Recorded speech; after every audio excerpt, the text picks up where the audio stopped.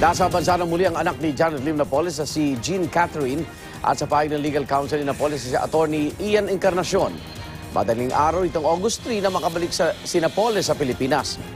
Ginit niyang handa ang anak ni Napoles na harapin ang lahat ng kaso niya sa loob man o labas ng Pilipinas.